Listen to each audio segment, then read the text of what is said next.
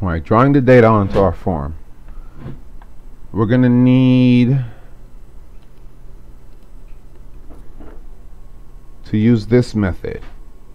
On this form, we can invoke methods. Now it takes a delegate.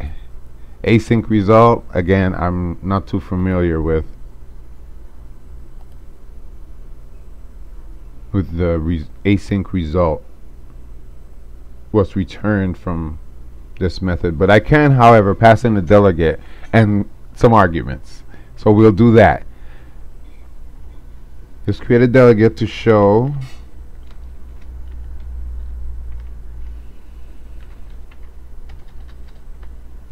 Twitch TV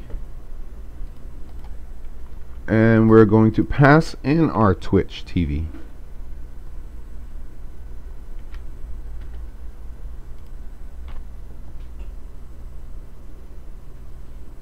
So every three seconds, we pull Twitch, grab the data, deserialize it, and send it out so the form can use it.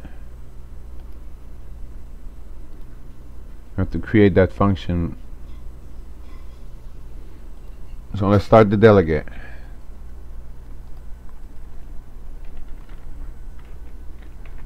That's the name of our delegate and it's going to return void.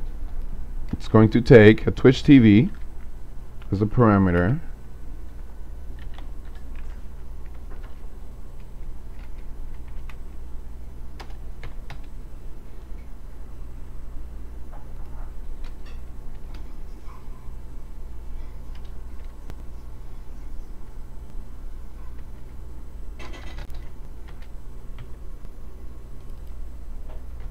and this is the event that we're going to declare to access.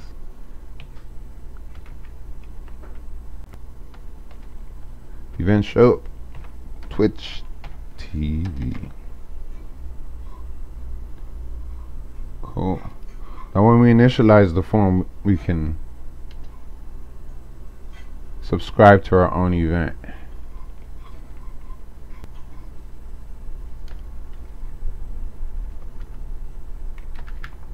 And the function I want to call when our events fired. So Twitch TV on the form alright.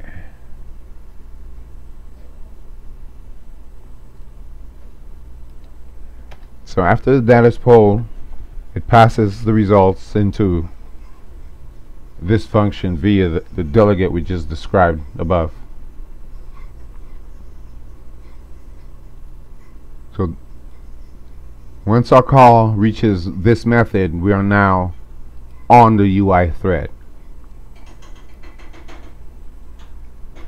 This method is being called inside of a thread. So no drawing can take place on the UI, which is our form, user interface.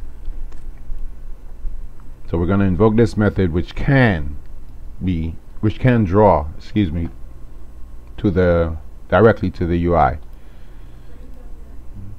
So we have some labels that we want to draw to.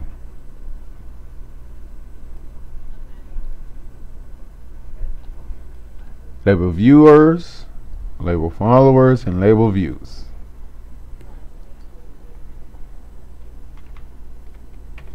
Label viewers equals, oh, there, we're going to access the text property. I love IntelliSense.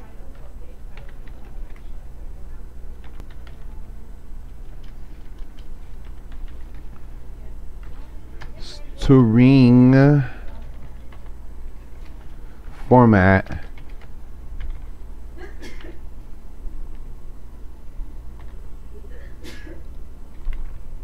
so here we want Twitch stream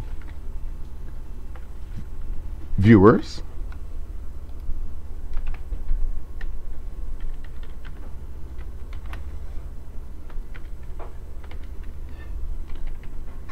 We can format that in triple digits.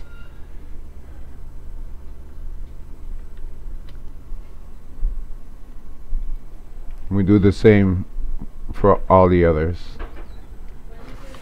Followers and views.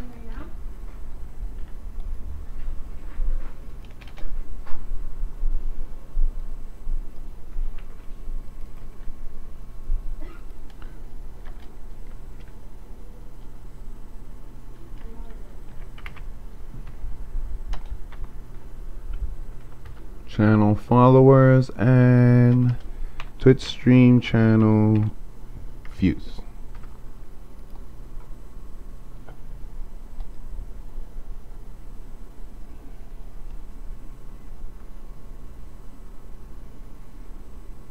Looks good to me. Let's run it and see what's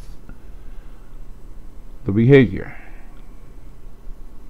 Ah, here we are opacity level is, is set to what we have it.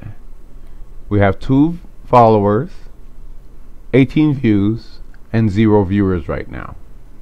I told you I needed to store these viewers in a long. It's too many of them alright let's continue. There's an error additional.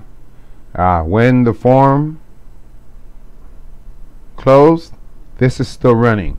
Now I was trying to access this object to, to invoke the function on. So we need to stop the running before we exit. There's events all over this thing that we can access. OnClosing, OnClosed. OnClosing sounds like the best choice.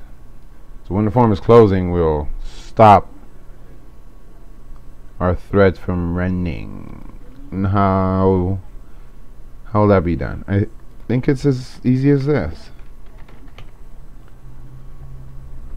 Yeah. Let's give it a shot.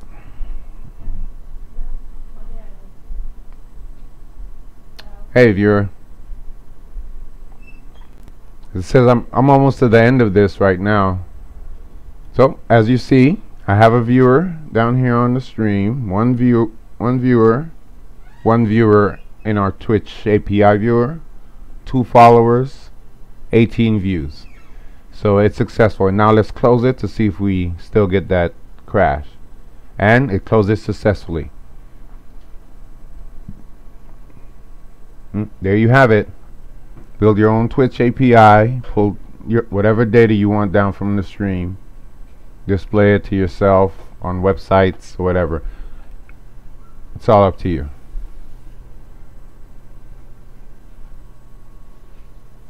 This was a C-Sharp Windows tutorial to get a channel's Twitch's viewer count, brought to you by Callow Creation.